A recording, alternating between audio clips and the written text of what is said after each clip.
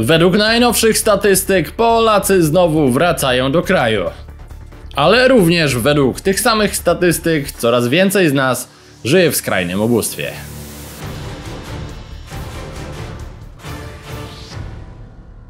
Ja się nazywam Maciej Porstawka, witam szanownych Państwa bardzo, bardzo serdecznie. Dzisiaj w bardziej mm, domowych klimatach, no ale i sytuacja tego wymaga, no bo w końcu Polacy wracają do domu. No to trzeba było też dostosować mm, tło i całą atmosferę. Nie no, żartuję, po prostu mm, nie ma mnie z różnych powodów dzisiaj w biurze, ale tematy i tak muszą być powiedziane, więc lecimy chyba już z jedynką.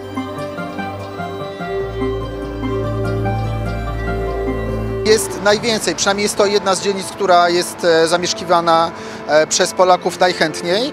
I kiedy tu przyjeżdżałem, myślałem, że rzeczywiście język polski będę w stanie usłyszeć. Prezydent Andrzej Duda oraz premier Mateusz Morawiecki wzięli udział na konferencji w temacie spisu powszechnego 2021 w Pałacu Prezydenckim. Spis objął wszystkie osoby mieszkające w Polsce. Spis powszechny 2021 pokazał, że w Polsce mieszka na stałe 38 milionów 179 tysięcy 800 osób. Podało na konferencji przedstawiającej wstępne wyniki GUS. To o 332 tysiące mniej niż wynikałoby ze spisu sprzed 10 lat. 48,5% jest mężczyzn, a 51,5% kobiet. Ta liczba uwzględnia emigrantów z Polski, którzy utrzymali stałe zameldowanie w kraju, jak i imigrantów, którzy zdecydowali się na stałe, a nie czasowe zamieszkanie. Wynikająca ze spisu ludności, liczba jest o 32 tysiące wyższa niż GUS podawało ostatnio na koniec września 2021, czyli na dzień końca spisu. Istotnie zwiększył się udział osób w wieku poprodukcyjnym. Wzrósł z 16,9 do 21,8. Osób w wieku produkcyjnym jest 60% w porównaniu z 64,4% 10 lat wcześniej. Oznacza to, że w ciągu dekady przybyło ponad 1 800 tysięcy osób w grupie wieku 60-65 i więcej, a tym samym już ponad co piąty mieszkaniec Polski ma ponad 60 lat, podaje GUS. Najszybciej rośnie populacja 80-90-latków, wskazał biorący udział w konferencji profesor Piotr Szukalski z Instytutu Socjologii Uniwersytetu Łódzkiego. E, Podkreślił postępującą depopulację kraju i utrzymywanie się od 25 lat niskiego wskaźnika reprodukcji. Na jedną kobietę liczba córek, które dożyją wieku rozrodczego rzędu 0,7. To może zredukować populację w czwartym pokoleniu do 35% wyjściowego stanu, a będzie miało w dłuższym okresie wpływ zarówno na wielkość płaconych podatków osobistych, rolę Polski w Unii Europejskiej, ale i spadek cen mieszkań. Liczba mieszkań w Polsce wyniosła 15,2 miliony, czyli o 1,7 w porównaniu z poprzednim spisem. Powierzchnia mieszkań wzrosła o 18,5% w porównaniu z 2011 i wyniosła 1121,3 miliona metra kwadratowego. Wzrost o 175 milionów metrów kwadratowych. Konferencja z prezentacją wstępnych wyników spisu powszechnego 2021 opóźniła się o ponad 20 minut. Czekano na prezydenta Andrzeja Dudę, który w końcu się pojawił, dziękując na wstępie osobom przeprowadzającym spis i podkreślając, że bardzo dużo osób korzystało z formularza elektronicznego, co świadczy o rosnącej nowoczesności. Po nim głos zabrał Mateusz Morawiecki. Demografia to kluczowy element działania rządu, stwierdził premier Mateusz Morawiecki. Spis powszechny to jeden z najważniejszych elementów prowadzenia polityki. Pozwala na wyciąganie wielu wniosków. Polska będzie musiała zmierzyć się z wieloma pułapkami demograficznymi, dodał. Wśród kluczowych czynników wymienił spadek dzietności, starzenie się społeczeństwa i wzrost migracji ludności. Po raz pierwszy jednak w historii Polski mamy dodatni bilans migracyjny. Więcej Polaków wraca do ojczyzny niż z niej wyjeżdża, powiedział premier. Nasze polityki ze sztandarową 500 plus są ukierunkowane na powiększanie rodziny. Pokazaliśmy, że zmiana jest możliwa.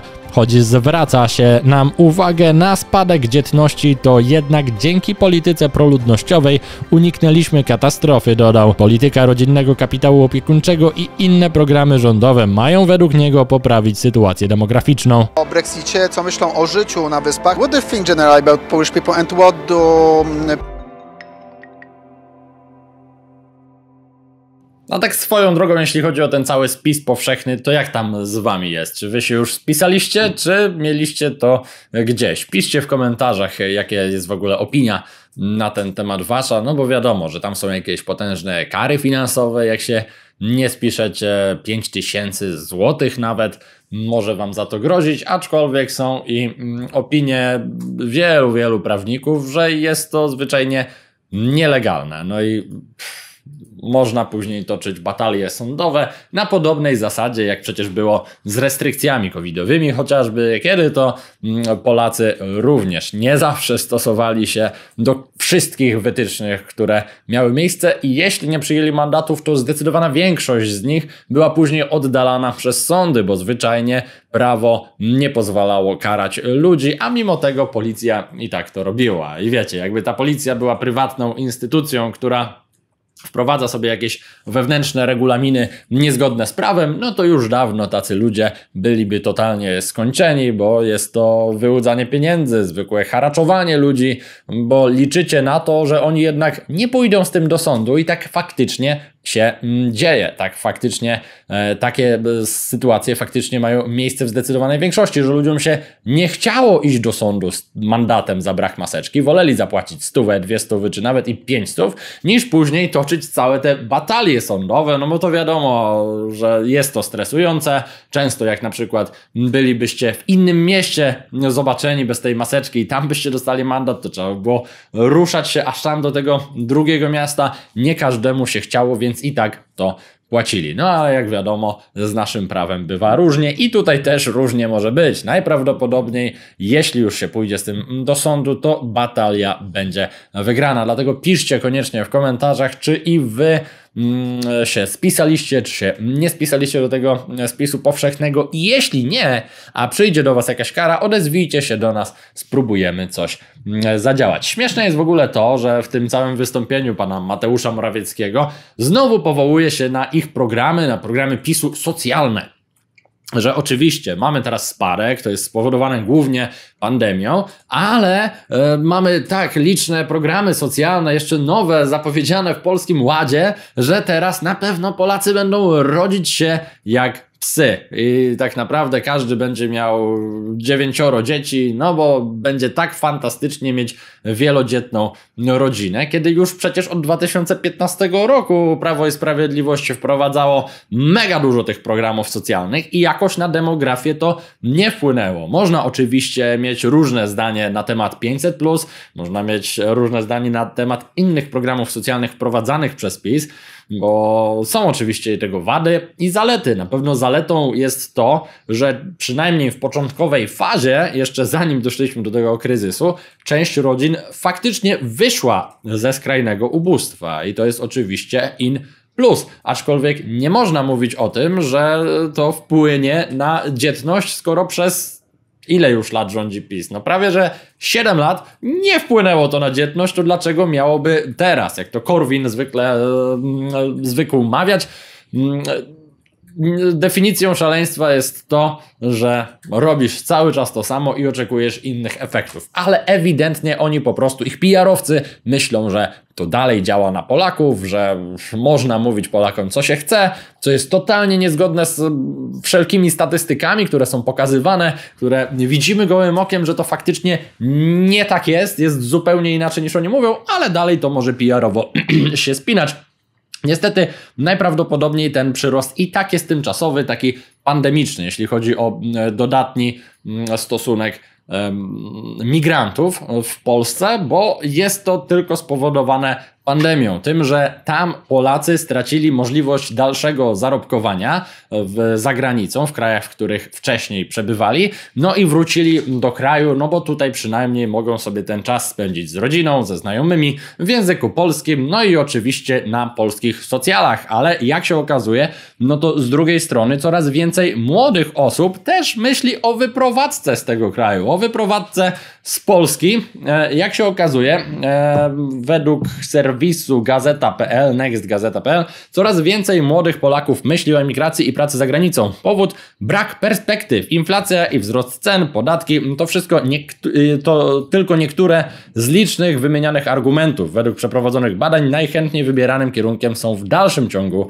Niemcy. Jak wcześniej jeszcze Wielka Brytania mogła konkurować, no to teraz, kiedy wyszli z Unii Europejskiej, już stały się tym liderem Niemcy. 16,1% pracujących Polaków rozważa emigrację zarobkową w ciągu najbliższego tylko roku i to jest dwa razy więcej niż przed pandemią. Więc możemy się spodziewać tego, że jeśli już granice będą otwarte, a restrykcje w krajach, mm, e, w których można więcej zarabiać, nie będą tak dotkliwe, że faktycznie będzie można wykonywać jakiś tam dany zawód, który Polacy chcą wykonywać bez konieczności mm, non-stop dostosowywania się do obowiązujących jakichś tam warunków covidowych, no to też mogą zacząć wracać za granicę. No ale jak na razie rząd oczywiście może pochwalić się tym sukcesem, no i teraz ich mm, wolą jest to, żeby w ich gestii jest to, żeby zachęcić tych Polaków, żeby już nie wracali za granicę, a pozostali w kraju, choć wydaje mi się, że to jest e, niestety nieuniknione, taki przesył Polaków na zachód, z tego względu, że również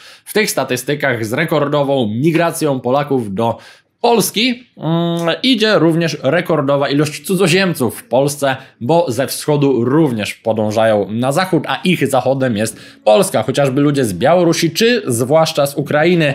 Mm, teraz, jak się okazuje, choć liczba pracowników ze wschodu bije rekordy, agencje pracy nie są w stanie dalej wypełnić wakatów, więc w dalszym ciągu będzie przyrost migrantów ze wschodu. Obecnie 513 tysięcy obcokrajowców posiada ważne zezwolenia zezwolenia na dłuższy pobyt w Polsce, to jak pisze Rzeczpospolita o 10 tysięcy więcej niż przed miesiącem, głównie dzięki większej liczbie Ukraińców, aż 287 tysięcy. Rekordy notuje ZUS, gdzie na koniec czerwca liczba cudzoziemców wzrosła o ponad 1 trzecią w skali roku do niemal 819 tysięcy i 3 czwarte z tych osób to również Ukraińcy, a pamiętajmy, że przecież zbliża się najprawdopodobniej nieunikniona już wojna, jak teraz ostatnio ujawniły służby wywiadowcze Stanów Zjednoczonych. Rosja już zbiera przy granicy z Ukrainą krew.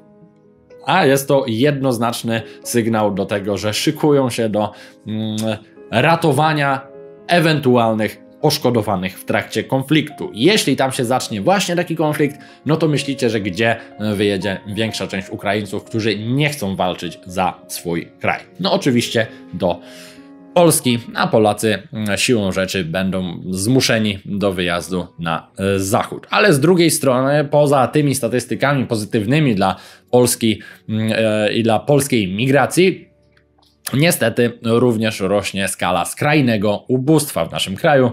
Posłuchajmy, jakie są bieżące statystyki.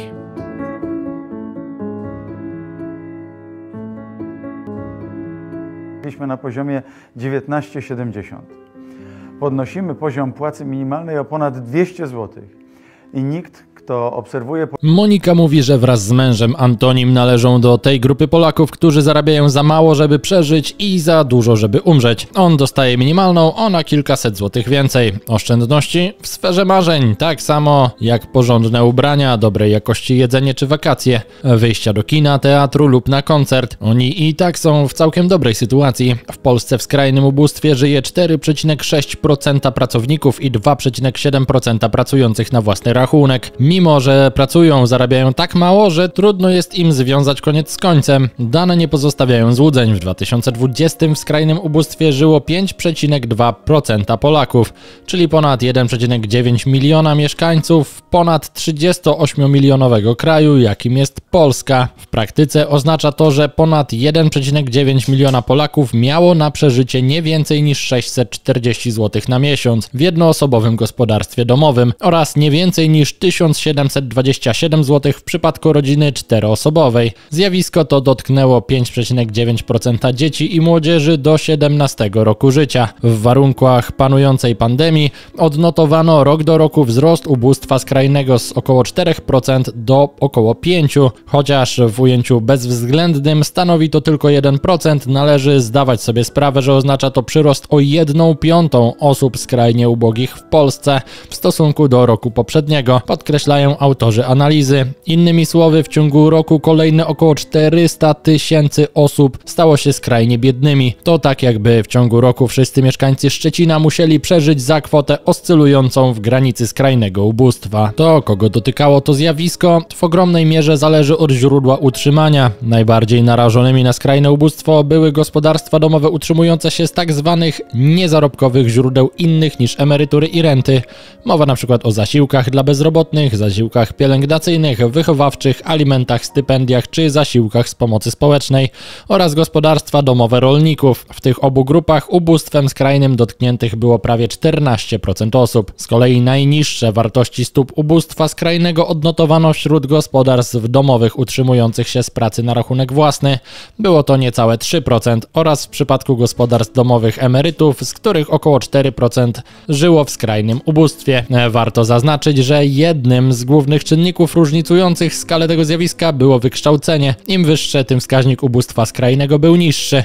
12% w przypadku osób z wykształceniem gimnazjalnym, 2% w przypadku osób z wykształceniem wyższym. Druga sprawa, na którą trzeba wskazać, to dzieci. W gospodarstwach domowych z większą liczbą pociech wskaźnik ubóstwa był większy. Bez dzieci 1,4%, a z co najmniej trójką dzieci już 5,9%. Patrząc z kolei na podział geograficzny, to wydatkami niższymi od granicy ubóstwa skrajnego częściej od mieszkańców miast odznaczali się mieszkańcy wsi, gdzie stopa ubóstwa skrajnego osiągnęła w 2020 roku poziom 9,5%. złotych. I nikt, kto obserwuje politykę prawa i sprawiedliwości, nie powinien być tym zaskoczony. Zauważcie, że w dalszym ciągu w najgorszej sytuacji są właśnie rodziny wielodzietne, które przecież tak niby ma wspierać rząd Prawa i Sprawiedliwości oraz ich liczne programy socjalne, no bo to oni zachęcają przecież wszystkich do bezmyślnego rodzenia dzieciaków i ma się to nam opłacać e, bardziej niż mm, rozwój w karierze zawodowej, że liczy się dużo bardziej wzrost demograficzny Polski niż wzrost gospodarczy. No i to jest konsekwencją właśnie działań mm, rządzących. A niestety, kiedy w skrajnym ubóstwie już jesteś, albo jesteś po prostu w ubóstwie i sobie narobisz dzieci czwórkę, piątkę czy szóstkę, no to wcale 500 plus na każde z tych dzieci nie wyciągnie cię ze skrajnego ubóstwa, bo przecież dziecko kosztuje więcej niż te 500 zł. A co za tym idzie? No, niestety również zaczynasz uczyć najmłodsze pokolenie tego, że mimo wszystko można żyć w skrajnym ubóstwie, można żyć na koszt państwa, można stosować zasadę ja nie pracuję, bo państwo powinno się mną zaopiekować. No i w ten sposób jesteśmy narażeni na to, że za lat X czy XX może się okazać, że będziemy mieli bardzo dużą grupę osób, które również mają takie podejście do pracy, że one nie muszą, że one nie powinny, bo to państwo powinno za nich płacić. Niestety nie rysuje się przyszłość w jakichś pozytywnych barwach, tym bardziej, że jak wspomnieliśmy już przy poprzednim newsie, coraz większa grupa młodych osób już planuje ucieczkę z tego kraju, ucieczkę do krajów, gdzie faktycznie mogą się rozwijać, no bo tutaj właśnie wnioski wyciągają się same. Jeśli chcesz żyć, no to najlepiej nic nie rób, bo jak zaczniesz to robić, to ci większość zabiorą. Drętwy suchar. Co mówi rosyjski kwiatek do pszczółki? Ni pani Maju. Tak skoro mamy od Łukasza Zuchowicza, za co dostajesz od nas złotą pszczółkę Maję. A jak i ty chcesz dostać złotą statuetkę, to wbijaj koniecznie na nasz drugi kanał Suchary z Sucharami, gdzie w komentarzach możesz pisać swoje własne propozycje. Tymczasem ja już się będę żegnał, trzymajcie się ciepło, no i heja!